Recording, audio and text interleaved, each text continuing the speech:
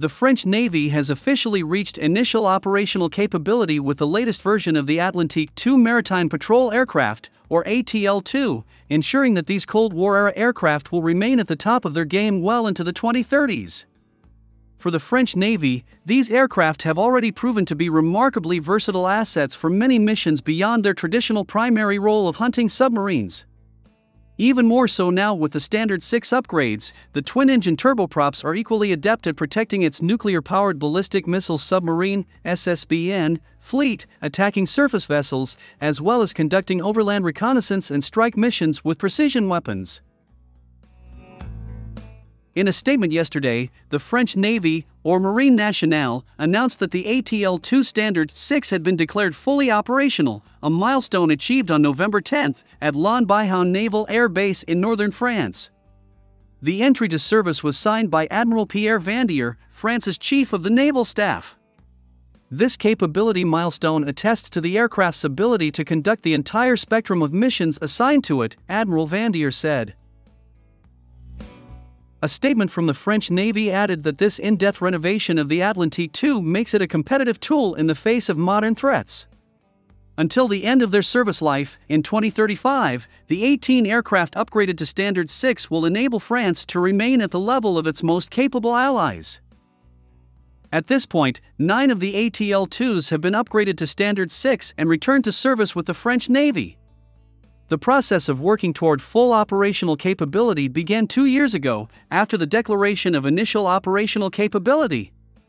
Now, however, the platform is judged suitable to undertake the entire spectrum of missions assigned to it. The ATL 2 was originally developed with anti submarine warfare ASW, as its primary mission, with the first prototype flying on May 8, 1981. However, the design was a reworking of the original Breguet 1150 Atlantic, originally flown 20 years earlier and intended to provide a common ASW platform for European NATO operators. The first generation Atlantic initially served with the French, German, Italian, and Dutch militaries, with examples also eventually exported to Pakistan. Now a Dassault aviation product, the ATL 2 was procured by the French Navy only. The first of 28 examples were delivered in 1989 and, compared with the Atlantic, the aircraft offered much improved ASW capabilities to deal with a new generation of quieter and faster submarines, as well as upgraded abilities to operate in the anti surface warfare ASUW, role against enemy warships. With a range of 4,300 nautical miles or endurance of 14 hours, as well as generous capacity for equipment, stores, and crew stations, the ATL 2 has proved highly suitable for further growth. In the process, it's matured from a fairly limited ASW mission profile to an asset that's just as useful for intelligence, surveillance, and reconnaissance, ISR, and even strike missions overland.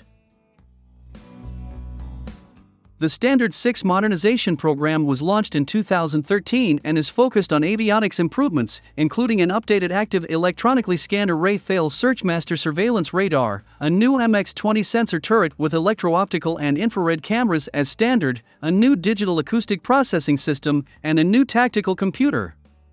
The typical crew of 14, including 4 in the cockpit, is provided with new consoles for the tactical display and navigation subsystems. At the same time, of course, other sensors from the pre upgraded aircraft are retained. These include the passive and active sonobuoys, a forward looking infrared, FLIR, camera under the nose separate from the new MX 20 that is primarily used to detect surface targets, the magnetic anomaly detector, MAD, in the tail for acquiring submerged submarines, and the wingtip electronic support measures, ESM, pods to intercept radio transmissions. Upgrade work is being undertaken by Dassault in conjunction with the Defense Ministry's Service Industriel de l'Aéronautique, SAI, which conducts maintenance and modernization on behalf of the French Armed Forces. The Standard 6 version of the ATL 2 has already been exposed to operational environments in the Baltic Sea, in the central and eastern Mediterranean, in the Indian Ocean, or in the Gulf of Guinea, as well as in the French approaches, for homeland defense, including protection of the SSBN fleet and the aircraft carrier Charles de Gaulle. Perhaps the most remarkable change in the ATL 2's mission profile has been to embrace operations overland, including taking part in counterinsurgency campaigns in the Middle East and in West Africa.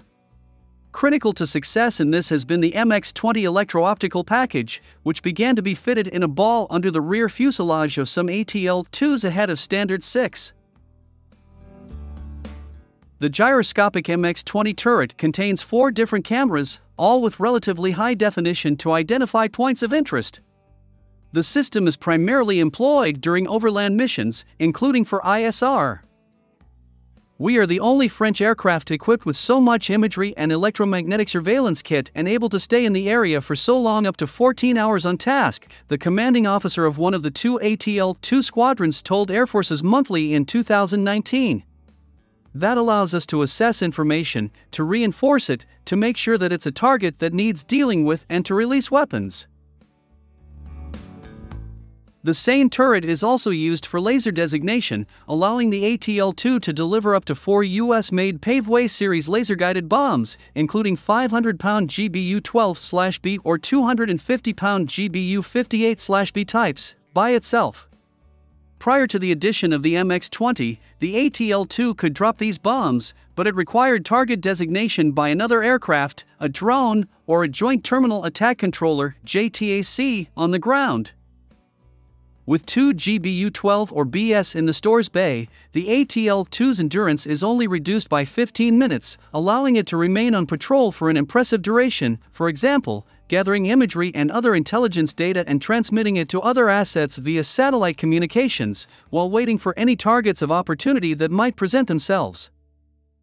These weapons are now as much a part of the ATL 2 armory as the more familiar MU 90 anti submarine torpedoes, up to 8, and AM .39 Exocet anti ship missiles, carried in pairs. One other little known aspect of the ATL 2's overland mission set is its ability to deliver Marine Commando parachutists.